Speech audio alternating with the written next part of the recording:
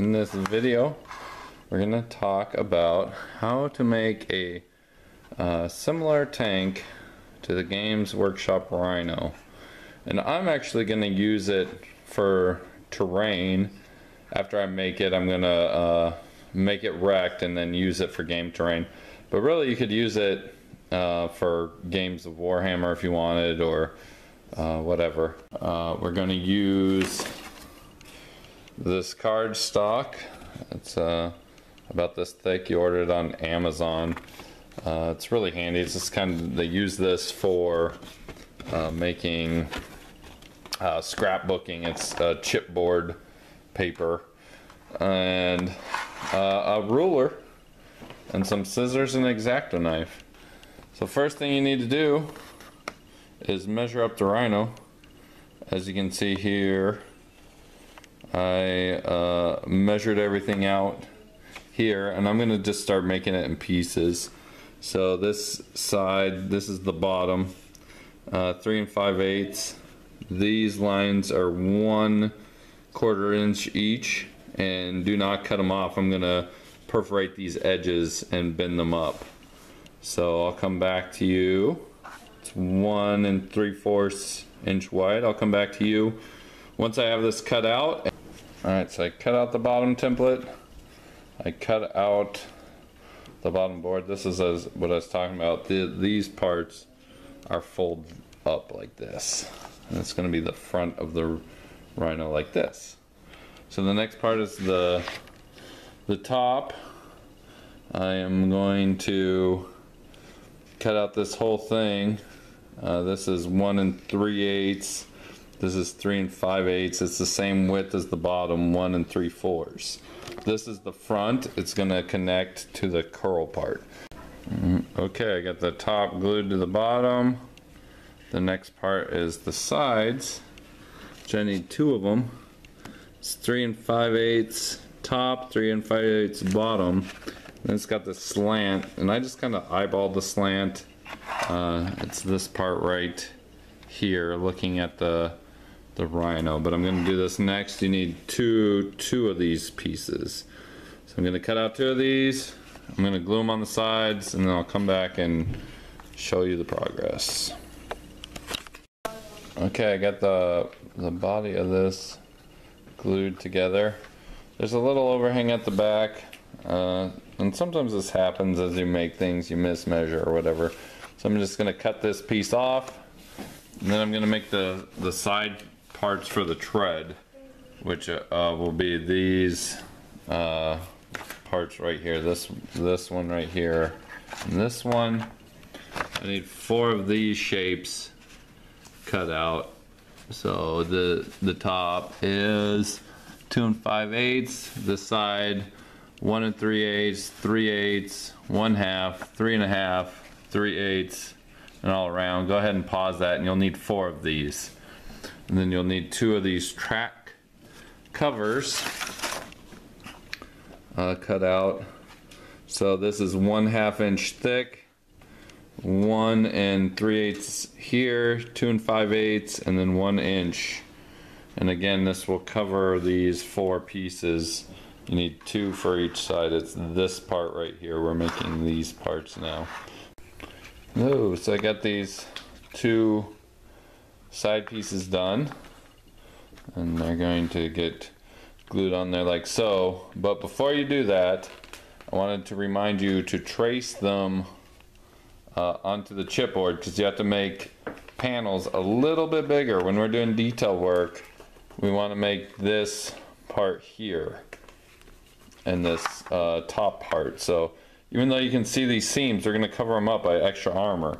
So you got to make sure that you trace this before you glue it on. So I'm going to glue these on. Alright guys, I'm going to start making the tread.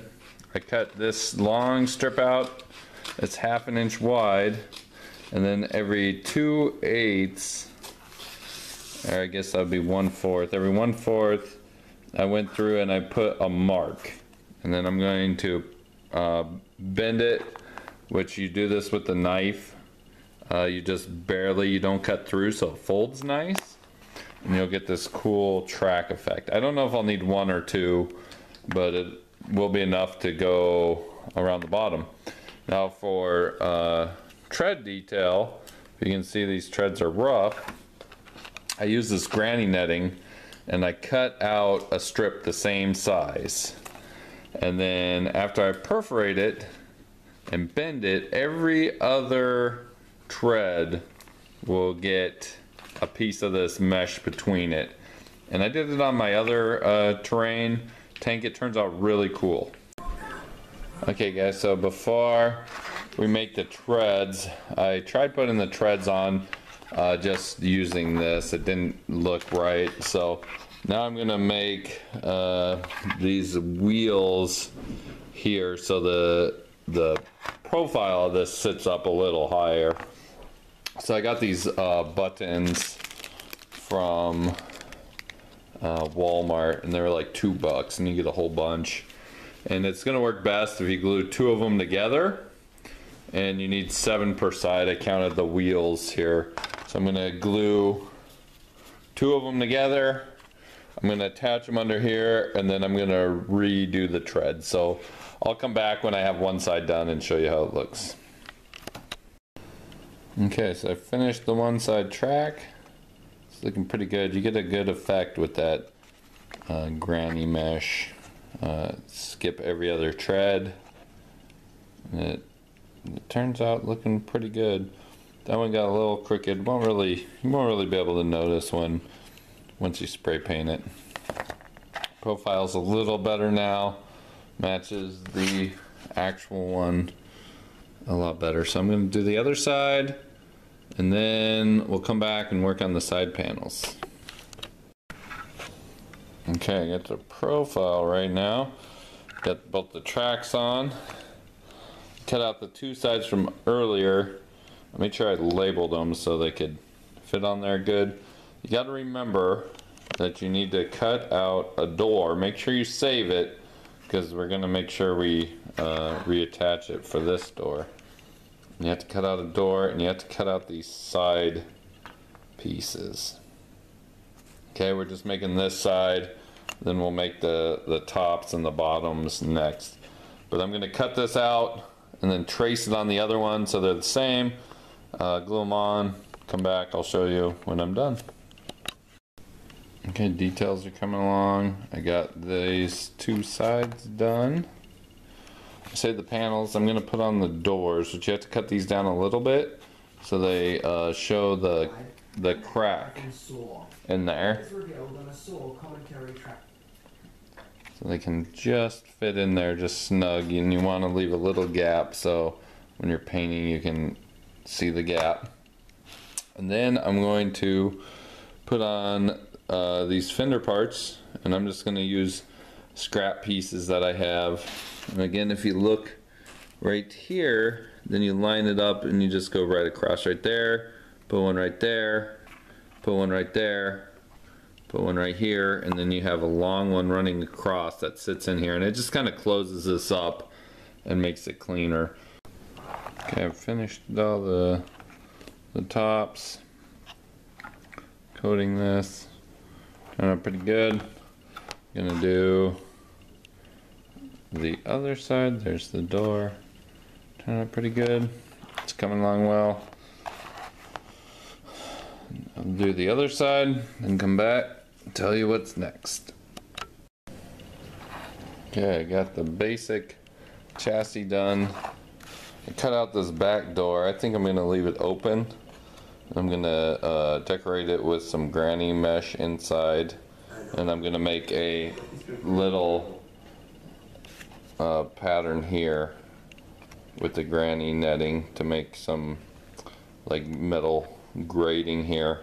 I'll leave that back hatch open probably and then I'm going to make this front little fender which if you don't have a rhino handy it's about 3 eighths high and about an inch and a half long I'm talking about this little slit here and I'm gonna make this part and this back door, which that's about two by one and a half. Okay guys, here it is. All done. I just used buttons for these top portholes. I cut this door, uh, made it jagged. I put a piece here for the buttons to sit on. I did the uh, inside here with some granny mesh. And if you were going to use this for a rhino, at this point you would just uh, paint it, prime it and paint it. It's pretty close. It got a little wide. I didn't take into account the thickness of the cardboard. Otherwise it would have been closer, but it's still less than a half inch uh, wider than this original uh, rhino, so that's good. Now my next step is to draw some battle damage. And when I do battle damage for terrain tanks, I like to think of a scenario. So I think the scenario is going to be that a las cannon or a melta hit it right here. I'm going to have most of this side burnt and melted with a few other like pot hot pot shots taken. And then the guys bailed out the back and I'm gonna put it on a uh, base. But I'll come back when the when I got the battle damage drawn on this okay this is probably the hardest part of this whole process. We just made this great tank but now we need to cut it up. So I drew where the damage will be then I get my trusty X-Acto knife and I, I'm gonna cut it out real jagged. And then after I cut it out I'm gonna just get some uh, I'm gonna save some of this scrap. I'm gonna get some uh, sprue plastic, which if you guys have been doing Warhammer for a while, you probably have a lot of these around, just this sprue. I'm gonna cut it out. I'm gonna glue in some parts to make it look jaggedy. I'm gonna glue in some sprues. Okay, so I did up this uh, battle damage right now is just like I use hot glue to sort of simulate that melting and I am still gonna burn these a little bit but then also I added some bullet holes. And I go through this I use a soldering iron and I poke the center and then I kind of burn around the edges with the soldering iron. It creates a cool effect. So uh, you could still probably cut these out. And I was just gonna do the one uh, damage where either a las cannon or a, a melta hit this tank but then uh, tanks now have 10 wounds. So even on the best case scenario they wouldn't be able to take out this rhino. They'd only be able to do six wounds. So then I thought maybe I should add a couple more. So I'm gonna melt some of these with a lighter. I'm gonna solder that and then I'll come back and show you that. Okay I've finished all the battle damage. So you can see the, the soldering iron. And I just poke a hole with the soldering iron and then I just use the side and burn these sides. And it turns out pretty cool. I've used this uh, technique before. I've added some textures here with the soldering iron on the glue. And then now I'm going to make the base. I got the best part about having a, the making cool terrain is having a good idea. So I have this Berserker, and this is going to be uh, red. I have two uh, Space Marine armies, Ultramarines, and Khorne. So I'm gonna, I made a blown up Land Raider for my Ultramarine, so this blown up Rhino is gonna be for my Khorne. And I'm gonna use this chipboard for the base. Um, I've used foam board. Uh, it kind of has a cool effect, but I want this a little flatter so it lays flat. So I'm gonna cut out an interesting shape and I'll probably make it kind of uh, oval. But it's gonna be something like this. Uh, this Berserker Rhino got blown up. I'm gonna uh, incorporate this dice. I'm gonna uh, blend it in so it shows the one and then I'll probably use this um, just to give it, make it like a sewer grade or something. Mm, and then I'm going to use this uh, this wire to make some texture. So I'm going to use this clay to put a thin layer of, of basing on all this and, and tie it all in. So here we are, the base is done. As you can see, I have that Berserker tripping over the one. I saw this dice down. Uh, when we paint it up, right now it kind of looks silly, but when we paint it up, it should blend in well. It's just a little nod to when you the vehicle gets blown up. If you roll a one, your your guy dies. And the saying is like he twisted an ankle on the way out. So here's that berserker fleeing. He twisted his ankle. Now he's dead.